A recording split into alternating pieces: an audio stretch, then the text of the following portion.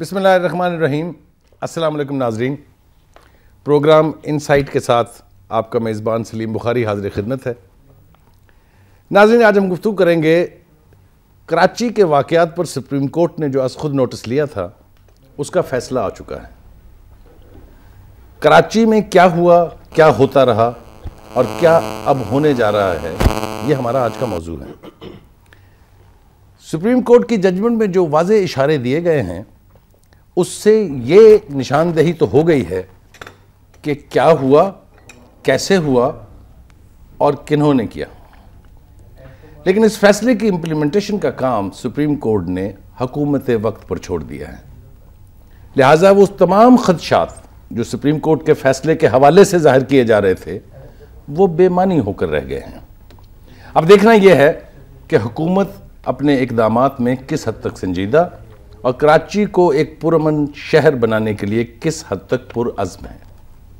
इस पर गुफ्तु के लिए जिन मेहमानों को हमने आज दावत कलाम दी है उनमें जस्टिस रिटायर्ड नासरा इकबाल साहिबा हैं जो लाहौर बार जो है उसकी प्रेसिडेंट रह चुकी Lahore high court bar Lahore high court bar की। और मेरे साथ दूसरे साथी जो हैं वो अहमद अवैस साहब हैं वो भी सदर रह चुके हैं लाहौर हाई कोर्ट बार के।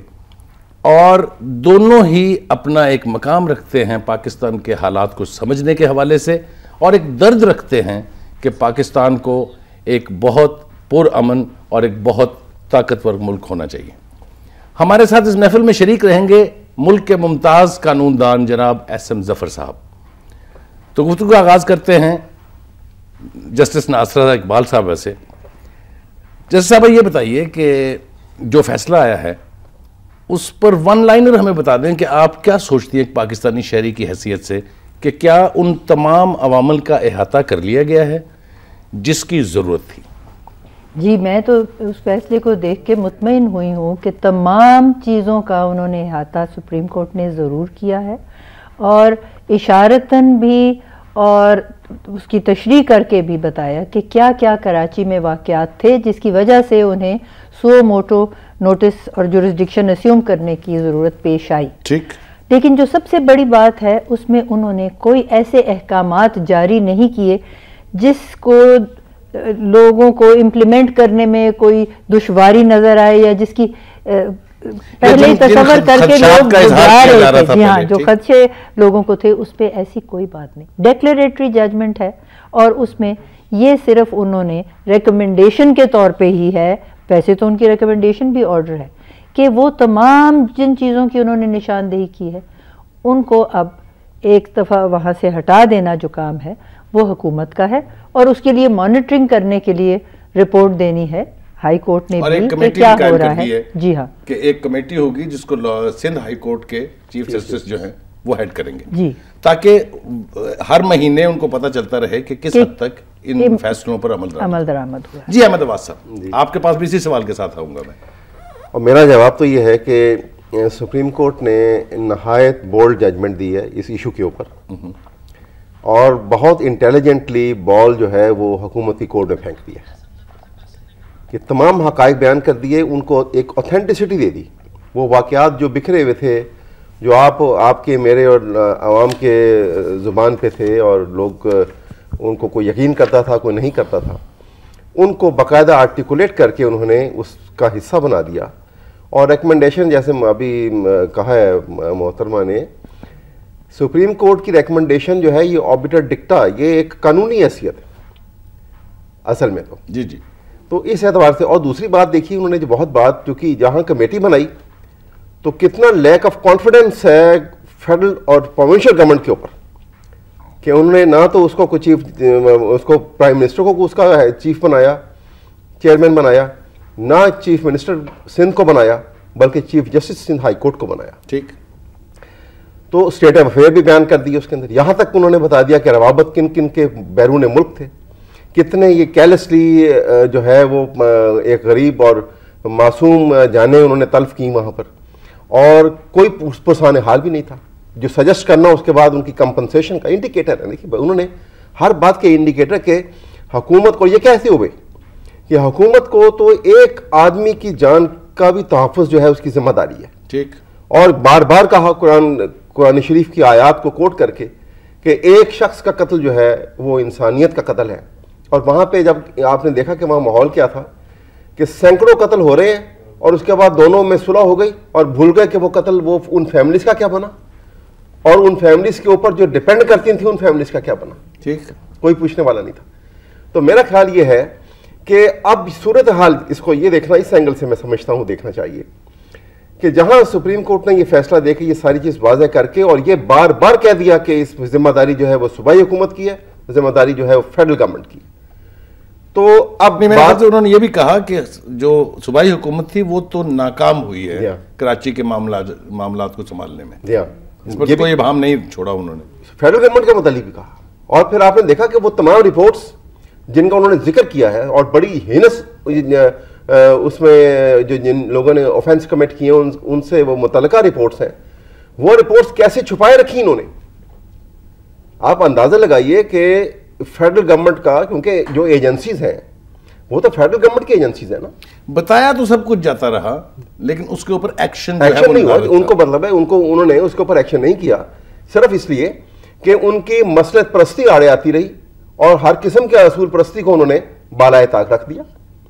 तो मैं ये समझता हूँ कि इस एतबार से पाकिस्तानी अवाम अब मीडिया का भी बहुत बड़ी ज़िम्मेदारी आयद हो जाती है और तमाम उन पॉलिटिकल लीडर्स की जो आज अपराइट अपने आप को समझते हैं और उनके नज़दीक नेशनल इंटरेस्ट जो है वो पर्सनल इंटरेस्ट की नस्बत बहुत ज़्यादा है और वो उसको बाटर नहीं करेंगे। वापस आता हूँ आपके पास, अहमद वैस साहब। जैसे नासर, ये बताइए कि सुप्रीम कोर्ट ने जो एक ख़ास मौजू था कि अदालतें फैसले नहीं करती केसेस के, सूबाई हुकूमत से पूछ लीजिए इंटीरियर मिनिस्ट्री से पूछ लीजिए होम मिनिस्टर से पूछ लीजिए, उनका हम आदमी पकड़ते हैं, अदालतें छोड़ देती हैं। या फैसले नहीं होते हैं। अजमल पहाड़ी जैसा वाक्य शख्स जो है, वो कंडेम्ड प्रिजनर है, लेकिन कोई फैसला उसके खिलाफ वाजे नहीं है। इसके हवाले से आप देखती हैं इस जजमेंट में कोई प्रोविज़न है? देखिए, ये जो है कि छोड़ देती हैं अदालतें, उसकी वजह क्या होती है? बेसिकली जो इन्वेस्टिगेशन होती है पुलिस की या जो एफआईआर होती है, उसमें सारा जो है माजरा उसको सही तौर पे बयान नहीं किया जाता। यानी फैसला तो मैरिज पर करना है कोर्ट ने। अपने पास हाँ। से तो वो मैरिज नहीं जी नहीं तो जब तक वो पीछे से सारा केस जिस तरीके से वो बनाएँगे और ये तो बात सुप्रीम कोर्ट ने वाजे कह दी कि पुलिस जो है वो भी पॉलिटिकल उस पे फेवरेटिज्म पे रखी गई है। तमाम या अक्सरियत पुलिस की उन लोगों की है जो फ़र्क फ़र्क जमातों ने अपने वक्त पे जब इकतदार में थी तो उनको मुकर किया और वो उन्हीं की तरफ़ देखते हैं। ठीक आसरा और अहमद वैस साहब आपके पास वापस आएँगे, इस वक्त हुआ एक ब्रेक का। ब्रेक पर चलते हैं, जब ब्रेक से वापस आएँगे तो जैसा मैंने पहले नाजीन आपको बताया था कि एस एम जफ़र साहब हमारे साथ लाइन पर होंगे डी एस एन जी के ज़रिए तो उनसे भी इस जजमेंट के हवाले से गुफ्तु होगी। चलते हैं एक ब्रेक के लिए।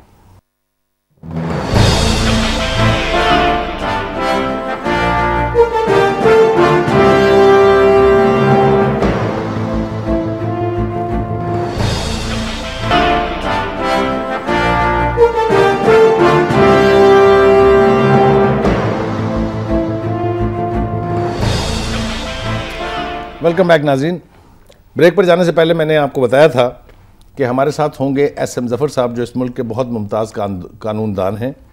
जी एस एम जफ़र साहब सलामकुम वालेकुम। अस्सलाम बुखारी साहब।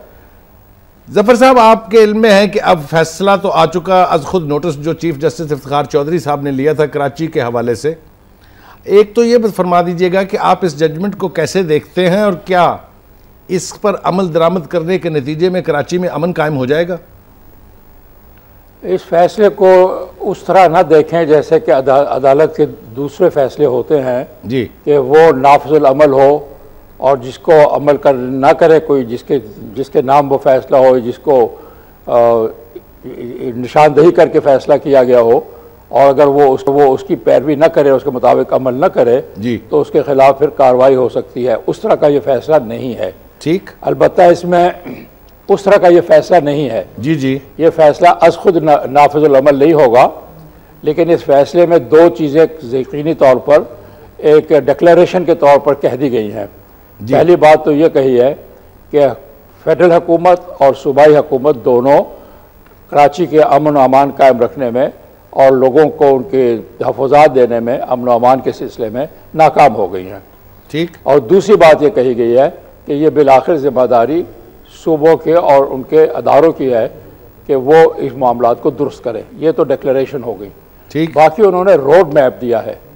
और रोड मैप का मुराद ये है कि उन्होंने हवाले देने के बाद ये बताया है कि उनका नतीजा ये है कि अगर ये कार्रवाइयाँ की जाएँ जिनका उन्होंने उसमें ज़िक्र किया है बड़ी तफसील से तो फिर यकीनी तौर पर उस रोड मैप पर चलने की वजह से वहाँ पर अमन अमान मुस्तकिल तौर पर कायम हो सकेगा। ये बातें उन्होंने कही हैं इसको इस तनाजुर में अगर आप देखें तो फ़ैसला बड़ा तफसीली है और इस फैसले से मुराद यही है कि उन्होंने निशानदही कर दी है और ऐसी ऑब्जर्वेशन दे दी है जिसका फ़ायदा हुकूमत को उठाना चाहिए।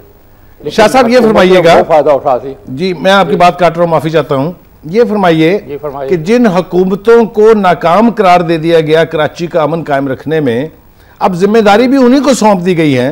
कि वो तमामतर वो इकदाम करें जिससे कराची में अमन हो सके। तो आपको तो है कि यही हुकूमतें जो हैं ये दोबारा अपनी ज़िम्मेदारी सही तरीके से अदा कर पाएँगी? मुझे तो यूँ दिखाई देता है कि यही हुकूमतें चूँकि उस मसाइल का हिस्सा हैं ये उसका हल नहीं हासिल कर सकेंगी।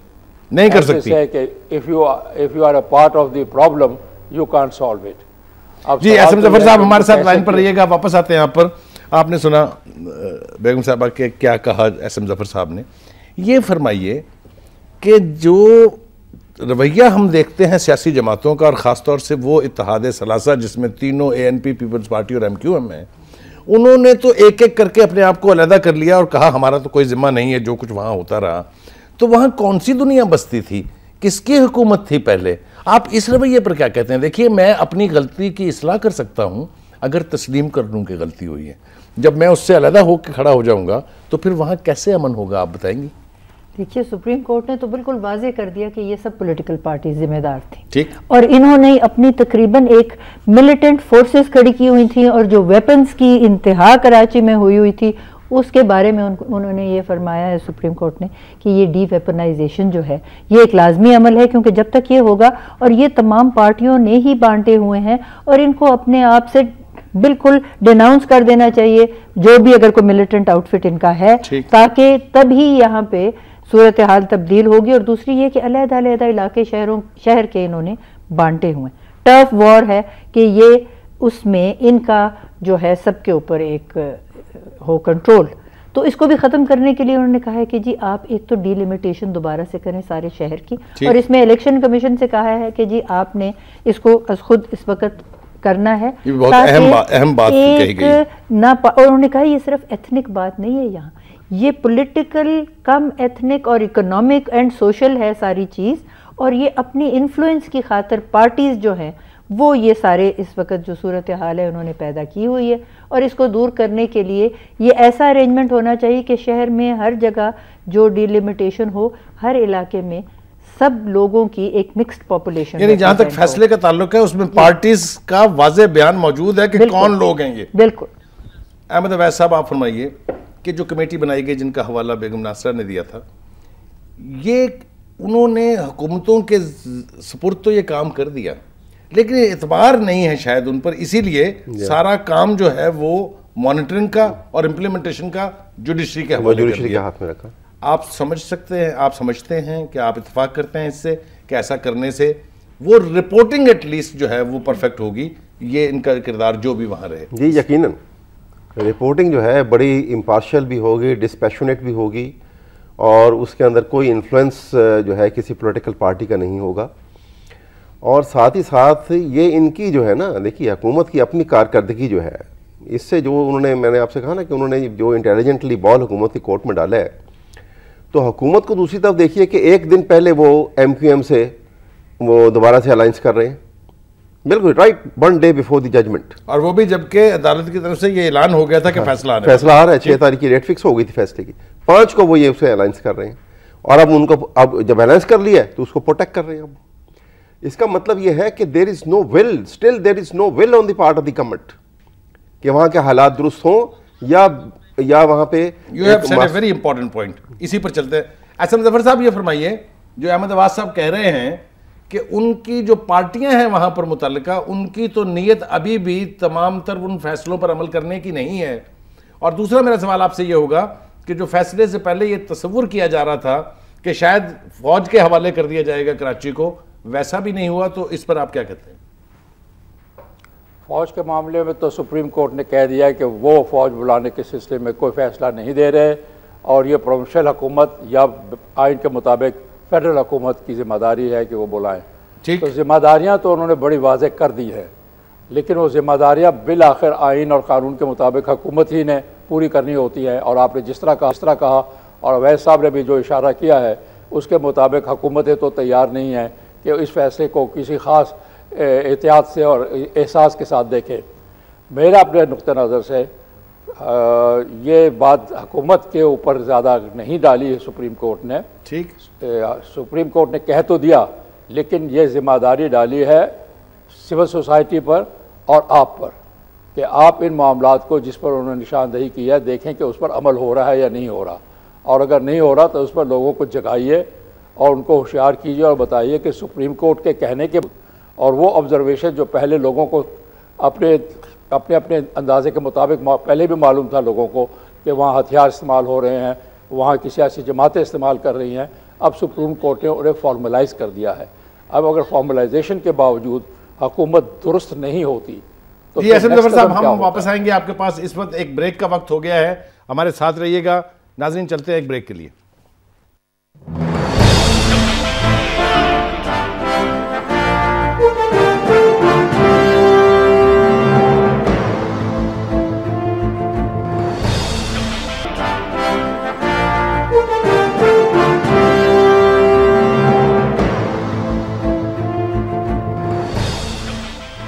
वेलकम बैक नाजीन ब्रेक पर जाने से पहले हम बात कर रहे थे एस एन ज़फ़र साहब से। वो अभी भी हमारे साथ लाइन पर मौजूद हैं।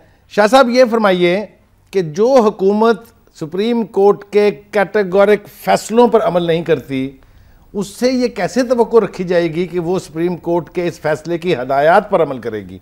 इस पर आप कुछ फरमाएँगे? मुझे तो उम्मीद नहीं है कि ये हुकूमत इस पर कोई उस तरह से अमल करेगी जैसे कि अमल करना चाहिए। ठीक? लेकिन बहरहाल अब उनको कुछ ना कुछ तो करना होगा। मैं यहाँ पे एक बात आपसे कह दो भी ज़िक्र मैंने किया कि सिविल सोसाइटी को अपना किरदार अदा करना होगा।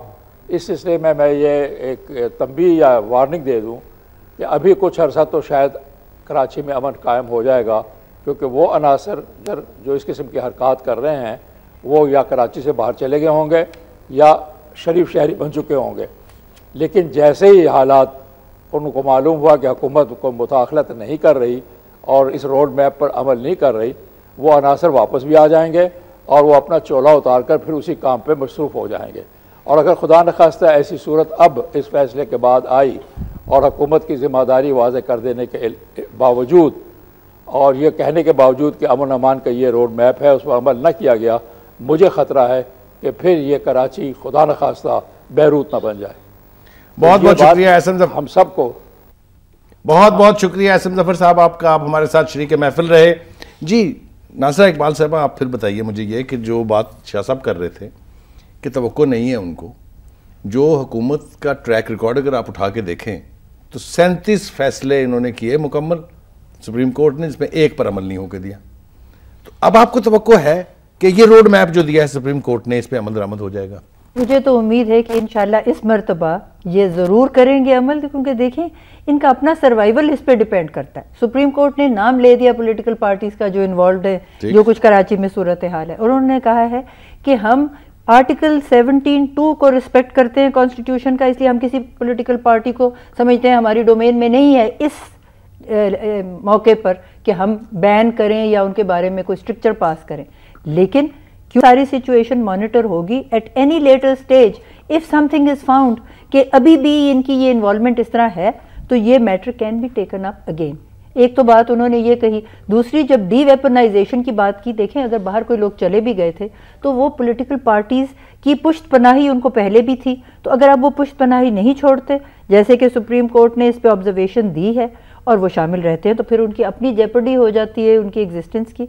और ये जो डी वेपनाइजेशन की सबसे बड़ी बात है इसके ऊपर अमल दरामद नहीं होता तो सुप्रीम कोर्ट के दरवाजे बंद तो नहीं है ना?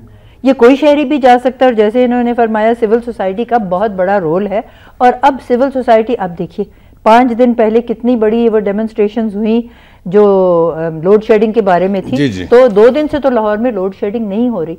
लेकिन ये जो बात है कि ये नहीं फॉलो करते सुप्रीम कोर्ट की जजमेंट्स का जो सबसे इस वक्त पहलू हमने देखना है कि जो करप्शन का लेवल हो गया है और नैब के चेयरमैन के ना उनकी अपॉइंटमेंट करना सुप्रीम कोर्ट की डायरेक्शंस के मुताबिक और उसके एक लिए जो महीने में इस्तेमाल किए गए सबके और उसके सामने। बाद ये है प्रोसिक्यूटर्स ये इसके बारे में तो सुप्रीम कोर्ट में इसमें भी ऑब्जर्वेशन की है कि एंटी टेररिस्ट कोर्ट्स के प्रिजाइडिंग ऑफिसर्स फौरी अपॉइंट होने चाहिए। ठीक। नहीं अपॉइंट हुए।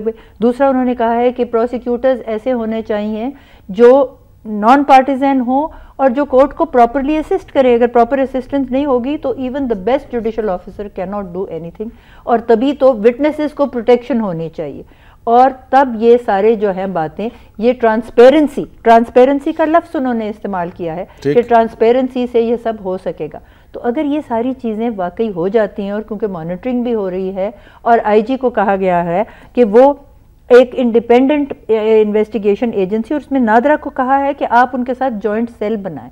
अगर ये कुछ हो जाए क्योंकि ये तो अब गवर्नमेंट के या पॉलिटिकल पार्टीज़ के तो इसमें कोई नहीं है रोल तो फिर मुझे उम्मीद है कि सूरत हाल बेहतर होगी। अहमद साहब ये बताइए कि जब लॉ इन्फोर्सिंग एजेंसीज में इस हद तक पॉलिटिकल एलिमेंट्स आ गए कि किसी चीज़ पर अमल दरामद होने का कोई इम्कान ही बाकी नहीं रहा पुलिस है उसको देख लीजिए। ये हवाले भी दिए गए कि रेंजर जैसी फोर्स जो है, उसमें भी पॉलिटिकल एलिमेंट था। तो आप समझते हैं कि ये जो प्रोसिक्यूटर्स की बात की है इन्होंने, उसमें ट्रांसपेरेंट तरीके से ऐसे लोगों को आगे लाया जाएगा जिनकी कोई नेशनल कमिटमेंट हो, जिनके पास वो तरीका कार और वो कमिटमेंट हो जिसके ज़रिए कराची में सूरत हाल को बेहतर किया जा सके। आप तो रखते हैं कि जो नए एलिमेंट्स सब आएँगे प्रोसिक्यूटर्स की सूरत में, वो रिलायबल और क्रेडिबल होंगे। देखिए, इस हुकूमत के होते हुए तो मैं बिल्कुल किसी भी मस्बत तो नहीं रख सकता। और ना है। ट्रैक रिकॉर्ड देखें आप। मुमकिन नहीं है कि ये अभी भी सुधरेंगे। ये उसी डगर पे चलेंगे। ये उसी तरह डिफाई करेंगे। हाँ एक कैच ज़रूर है कि सुप्रीम कोर्ट ने जहाँ पे chief justice Sindh high court की कमेटी सरबराही में जो बना दी है, उसकी रिपोर्ट जो है, वो एक ऐसी चीज़ होगी कि जब ये नाअमल दरामद करेंगे देखिए आपने लॉ इन्फोर्सिंग एजेंसी की बात की है। तो सिंध में तो इन आ, इस हुकूमत का तो ये आलम है कि लॉ इन्फोर्सिंग एजेंसी जो है वो पर्सनैलिटी इम्पोजिंग एजेंसी है। ठीक। वो कोई काम उसका लॉ इन्फोर्सिंग का नहीं है। कानून का नाम जो है वो नापैद हो चुका हुआ है। एक आदमी को प्रोटेक्ट करने के लिए अभी मोहतरमा ने बड़ी अच्छी बात की जो ये नैब के हवाले से और चेयरमैन नैब की अपॉइंटमेंट के हवाले से क्यों नहीं हो रही अपॉइंटमेंट इसलिए नहीं हो रही है कि उनको इस इस उनको इस बात का दरेक नहीं है उस बात को कोई उनको तकलीफ़ नहीं है कि जी बिलियंस ऑफ़ रुपीज़ जो हैं वो ड्रेन आउट हो रहे हैं ज़ाया हो रहे हैं और वो केसेस जो हैं उनको नॉन प्रोसिक्यूशन होने की वजह से वो एक्विट हो रहे हैं वो तमाम जो कल्पिट्स हैं या वो एक्यूज लोग हैं जिनके खिलाफ केसेस होने थे। एक शख्स को बचाने के लिए सिर्फ़ ये क्यों क्यों हो रहा है ये सब कुछ? आसिफ अली जरदारी एक शख्स प्रेसिडेंट ऑफ़ पाकिस्तान एक शख्स को बचाने के लिए उन्होंने तमाम अदारे तबाह कर दिए। और उनको कोई इस बात का नहीं होगा अभी भी वहाँ यही करेंगे। लेकिन जो मैं समझता हूँ कि जो एक एक चीज़ जो मुझे रोशन जहाँ से रोशनी की किरण नज़र आती है जी जी। कि सिंध हाई कोर्ट के चीफ जस्टिस की जो रिपोर्ट आएगी उस रिपोर्ट कहना ये चाह रहे हैं कि एक महीने के बाद ही जो उनकी रिपोर्ट आएगी मंथली हाँ रिपोर्ट देनी है उन्होंने तो पता चल जाएगा कि किस तरफ़ को जा रही है इस तरफ़ को आपको जारी सब आपको यह ट्रांसपेरेंसी खुल के सामने आ जाएगी कि कुछ भी नहीं हुआ कोई स्टेप नहीं होंगे उस तरफ़ लिए होंगे। ठीक। लेकिन उनको ये उनको गालिबन इस बात का ये अदराक है कि जी हाँ गवर्नमेंट की मशीनरी सो पावरफुल कि ये जुडिशरी क्या कर लेगी? उनके गालिबा आपको अगर याद हो यहाँ एक चीज़ पे थोड़ी सी एक बात जी आप- जी प्लीज़ यहाँ पे आप याद रखिएगा कि जिस दिन उन्होंने चीफ आर्मी स्टाफ की तीन साल की एक्सटेंशन की थी ना और उसके बाद यूसफ रजा गिलानी साहब ने एक फॉरन स्टेटमेंट भी दाख दी थी कि जनाब अब तो ये तीनों जो है महफूज हो गए हम महफूज हो गए मेरे ख्याल से किसी जमहूरियत में इससे ज़्यादा शर्म शर्म शर्मनाक नहीं शर्मनाक पहलू था ये बिल्कुल। बहरहाल वापस आते हैं आपकी तरफ़। ये फरमाइए कि कराची में वकला के साथ जो कुछ हुआ आपके सामने ज़िंदा जलाए जाने तक के वाकयात हैं। कोर्ट्स के घेराव किए गए और सबको मालूम है किन्होंने किए। ये अब अवर्ट हो जाएगी इसके बाद सूरत हाल या अभी ये खतरा लाक है कि अगर वो लोग दोबारा इन एक्शन आते हैं तो सूरत हाल इससे भी बदतर हो सकती है। इस पर आप क्या कहते हैं? देखिए एक तो आपने इशारा किया कि जो कुछ वकला के साथ हुआ और कोर्ट्स के साथ जो हुआ जो अब को हो रहा है और जो पिछले साल भी हुआ था पैसे दे दे के वकला को और ये उनको रास्ते से हटाने की कोशिश कर रहे हैं। कल के अखबार में था कि हमारे एक बहुत जो हैं नुमाया साहब जिनकी ये रेपुटेशन है कि वो हवाई जहाज़ों में पैसों के ब्रीफकेस लेके जाते हैं और वो कला में तकसीम करते हैं। वो हूँ। हरकत में आ गए हैं कराची में और फिर उन्होंने वही काम शुरू कर दिया।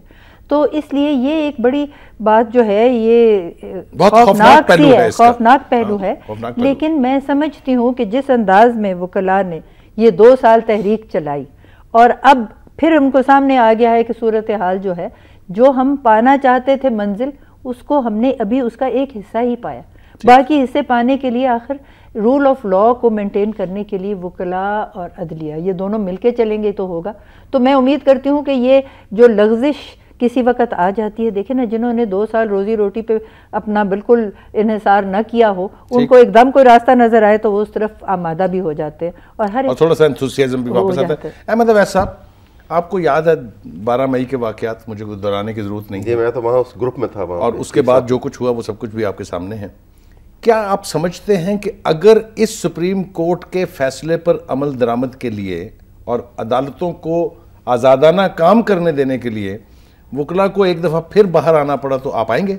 ज़रूर आएँगे, बिल्कुल। हम तो बिल्कुल डिटर्मिंड हैं, बल्कि अभी जो ये सुप्रीम कोर्ट की इस जजमेंट के बाद भी बड़ी तेज़ी से एक्टिवली इसके ऊपर डेलीब्रेशन हो रही हैं कि पूरे पाकिस्तान की बार्स जो हैं, वो रेजोल्यूशन करके और ये कमिटमेंट देंगी कि सिविल सोसाइटी भी उठ खड़ी हो लीगल फटर्निटी भी, और पाकिस्तानी आवाम को भी जिस तरह पहले बार निकाला था कि इस फैसले की इम्प्लीमेंटेशन के लिए हम खुल के बाहर निकलेंगे और मीडिया भी हमारा साथ देगा। यानी सिर्फ़ आवाम पर नहीं है जी, बल्कि वकला कम्युनिटी पर भी ये लाजम है बिल्कुल कि वो अदालत का दायरा कार जो है उसकी इम्प्लीमेंटेशन के लिए हाँ। उसकी जजमेंट के यानी नफाज के लिए अपना किरदार अदा क्योंकि करें। नाजरीन वक्त हुआ एक ब्रेक का।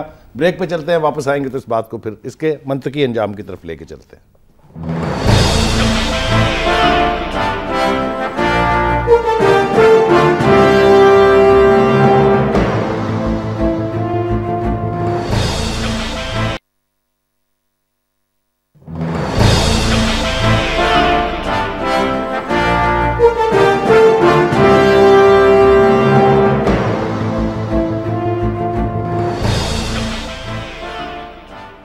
वेलकम बैक नाजीन जस्टिस नासिर साहब आप ये बताइए कि अगर सुप्रीम कोर्ट की हदायत की रोशनी में वहाँ की हुकूमत एक्ट नहीं करती प्रोविंशियल हुकूमत मेरी मुराद है तो कॉन्स्टिट्यूशन में क्या प्रोविज़न है कि इम्प्लीमेंटेशन ऑफ़ दीज डिसीजंस के लिए क्या रास्ता इख्तियार किया जाए?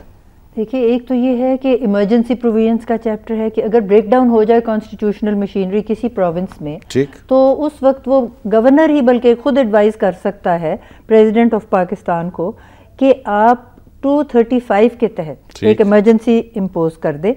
और उसमें ये है कि फिर the federal government will take direct control of the province और वहाँ पे जो उनकी प्रोविंशियल मशीनरी है इलेक्टेड वो नहीं काम करेगी। दूसरा ये है कि 247 के तहत फौज को बुलाया जा सकता है जिससे और ये दोनों इशारे जजमेंट में हाँ, मौजूद हैं। लेकिन उन्होंने कहा है हम ये नहीं करेंगे हम ये हुकूमतों पे छोड़ेंगे। सवाबदीद पे है। और फेडरल गवर्नमेंट पे। कि अगर आपको इम्प्लीमेंटेशन में दिक्कत हो तो ये रास्ता आपके पास है। क्योंकि वहाँ पर जो स्टेक होल्डर्स हैं अहमद अवैस साहब आपसे मेरा सवाल है कि स्टेक होल्डर्स तो बहुत स्ट्रांग लोग हैं। मिलिटेंट विंग्स उनके हैं। अब इसकी तफसील में जाने की ज़रूरत नहीं है। तीनों ही जमातें हैं जो मेन वहाँ की रूलिंग एलीट भी है और वहाँ पर इकतदार पर काबज तो मैं नहीं कहूँगा, लेकिन इकतदार में शामिल हैं। अब उनको जो ये हदायत दी है सुप्रीम कोर्ट ने कि खुदारा अपने मिलिट्री विंग जो हैं उसको डिसोन कीजिए या डिसबैंड कीजिए। आप समझते हैं इसके ऊपर अमल होगा? नहीं होगा, मैं आपको बार बार कह रहा हूँ, देखिए, इनकी, इन्होंने अपने मिलिटेंट ग्रुप्स की बेस के ऊपर स्ट्रेंथ के ऊपर वहाँ पे अपनी अपनी हेजमनीज बनाई हुई है। वो जो पंजाबी में कहते हैं अपनी अपनी जूस बनाई हुई जू है उनके वो हेजमनीज कायम की हुई हैं। जैसे कोल्ड वार के वार के ज़माने में डिफाइंड एरियाज़ है ना कि ये रशियन हेजमनी है सोवियत यूनियन की और ये अमेरिकन हेजमनी है। तो इसी तरह से इन्होंने भी इसको मॉडर्न इस्लाम में नो गो एरियाज़ कहते नो गो एरिया अपने नो गो एरियाज़ उन्होंने निशानदही की है कि पाकिस्तान में आप सबसे कराची में नो गो एरियाज़ को खत्म करें फ़ौरन। और पूरी तरह से पूरी ताकत के साथ इसको खत्म किया जाए। ताकि ये इनकी हेजमनी खत्म ये ताकत वहाँ की सूबाई हुकूमत के पास है।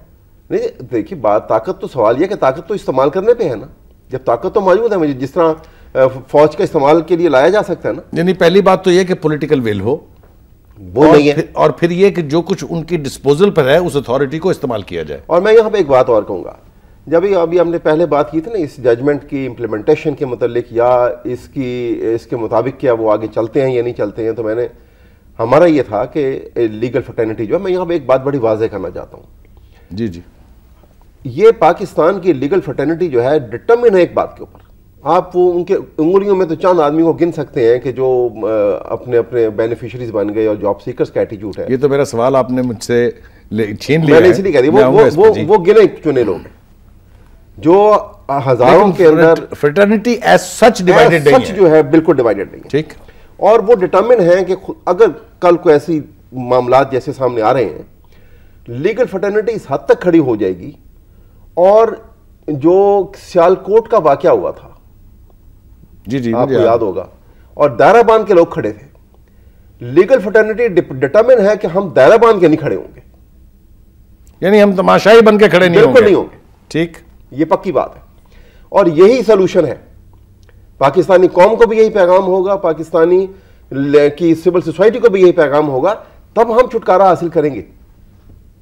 ठीक। ये तो करप्शन और बेगैरती का आलम जो है इस हद तक ऊपर जा चुका हुआ ना इसकी इजाज़त दी जा सकती है बिल्कुल ना इसे बर्दाश्त किया जा सकता है।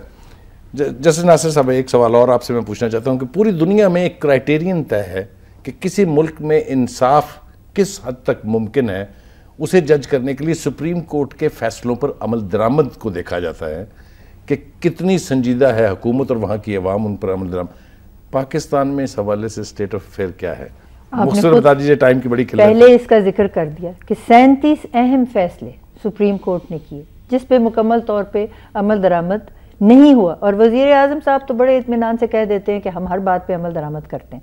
जो छोटी छोटी बातें होती हैं उनको ये पकड़ लेते हैं और जो अहम उसका पहलू होता है फैसले का जिस पे अमल दरामद करना ज़रूरी है उस पर अमल दरामद नहीं होता। तो दुनिया सारी देख रही है और दुनिया नहीं आवाम देख रही है। देखें एक तो यह है कि आज़ाद अदलिया है जी। और यही दुनिया में इंसाफ का मैार ज- देखा जाता है कि अदलिया किसी के दबाव में तो नहीं है। अब अल्हम्दुलिल्लाह हमारी सुपीरियर अदलिया किसी के दबाव में नहीं है। और वो बिल्कुल वाज फैसले करती है कि लोगों को इंसाफ फराम करने के लिए और आम शहरी के हालात बेहतर करने के लिए और दादरसी के लिए क्या क्या चीज़ें ज़रूरी हैं। उस पर अगर अमल नहीं करती हुकूमत तो मैं समझती हूँ ये मौका आ गया है। इन्होंने ज़िक्र किया लीगल फ्रेटर्निटी का। जी, जी। शहरी और उसके अलावा तमाम तबकात फ़िक्र के लोग और इसमें आप देखिए कि हमारी इकोनॉमी कैसे सफ़र की है। तो जो लोग बिज़नेस में हैं और जो छोटे छोटे कारोबारों में हैं उन सब का भी इस वक्त इस बात पे इन्हिसार है कि अदलिया के अहकाम पे हो अमल होता है? अमल दरामद और अगर ना हो तो इकट्ठे होके इंशाल्लाह हम सब जो सैंतीस फैसले जिसका ज़िक्र हम कर रहे हैं उसमें से 78 परसेंट जो है वो करप्शन के केसेस हैं। लिहाजा जिस सोसाइटी में करप्शन होगी वो कैसे करे? आपसे मेरा आखिरी सवाल ये है कि आप ये फरमा दीजिए कि अगर आप समझते हैं कि तमाम तर वाज़ हदायत के बावजूद इस जजमेंट में जो प्रोविज़न हैं इसके बावजूद वहाँ सूरत हाल तब्दील नहीं होती और रवैये वही रहते हैं तो आप सुप्रीम कोर्ट के फैसलों की इम्प्लीमेंटेशन में आपकी फिटर्निटी वकला की कोई किरदार अदा करेगी? जी बिल्कुल मैंने आपको बताया ना हम बिल्कुल एक मूवमेंट की शक्ल में दिस टाइम वो may be safe Pakistan movement की शक्ल में बाहर निकल आए लेकिन निकल आएँगे क्योंकि हर पाकिस्तानी के ऊपर आर्टिकल 189 और आर्टिकल 190 के तहत उसके ऊपर ज़िम्मेदारी है हर शख्स की कि वो सुप्रीम कोर्ट इंडिविजुअल्स की भी और इंस्टीट्यूशंस की भी। इंस्टीट्यूशन की भी कि वो इंप्लीमेंट करें। और दूसरी बात हम कभी ये नहीं चाहेंगे कि सुप्रीम कोर्ट की करेंसी जो है खत्म हो जाए अगर फैसलों को इंप्लीमेंट ना किया गया तो खत्म हो जाएगी। ठीक। इसलिए ये ज़िम्मेदारी सोसाइटी जो है वो पनप नहीं सकती कभी भी अगर। वहाँ इंसाफ अभी नहीं है, बिल्कुल। उसके ऊपर अमल हाँ, हम वो सोसाइटी फ्री फॉर ऑल बनाए बनाने की कोशिश की जा रही है। इंशाल्लाह ये हम बने नहीं देंगे। डिटर्मिंड है? बिल्कुल। दूसरी एक बात जो आपसे मुझे सवाल करना है जो मूवमेंट हमने वकला की देखी जिसे ब्लैक कोट मूवमेंट कहा गया उसकी लीडरशिप में जो तसाद या जो तकसीम है आप नहीं समझते कि उससे काफ़ी धचका लगा है उस तहरीक को? मेरे ताई ऐसी कोई तकसीम है नहीं। ये चंद एक लोगों को नुमाया करके और ये ज़ाहिर करने की कोशिश की जाती है वेस्टेड इंटरेस्ट की कि जी वकला की लीडरशिप में और उनके रैंक्स में और वो भी उन्हीं लोगों की ख्वाहिश है जो तकसीम करना चाहते हैं। जब वक्त आए तो मेरे पास। एक सेंटेंस में देखिए लीडर ये जो मूवमेंट चली ना ये किसी एक वकील लीडर के कहने पे नहीं चली। हर वकील के अंदर ये मूवमेंट थी। वो और बाहर निकल आया सिंसेरिटी पूरी फटर्निटी की कमिटमेंट थी। और जिस किसी लीडर ने जरा सी भी डंडी मारी उसको उठा के बाहर फेंक दिया मूवमेंट से बहुत बहुत शुक्रिया अहमद अवैस साहब आपका जस्टिस नासरा इकबाल साहबा आपका। और जनाब एस एम ज़फ़र साहब हमारे साथ शरीक महफिल रहे उनका भी बहुत बहुत शुक्रिया।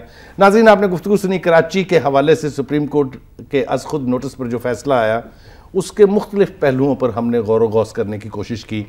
तमाम साहिब राय लोगों ने उसके ऊपर अपनी राय का इजहार किया। अब देखना यह है कि कराची में क़्याम अमन के लिए वहाँ की हुकूमत और वहाँ की सियासी जमातें क्या उस पॉलिटिकल विल का इजहार करती हैं जो बहुत ज़रूरी है अदालत के फैसलों पर अमल दरामद करने के लिए? ये बात यकीन से कही जा सकती है कि जिस रोड मैप का तस्करा मौजूद है, जजमेंट में वाज इशारे मौजूद हैं, उस पर अगर अमल दरामद किया जाए तो कोई वजह नहीं है कि कराची फिर से रोशनियों का शहर बन जाएगा। अपने मेज़बान सलीम बुखारी को इजाज़त दीजिए। अल्लाह निगेबान।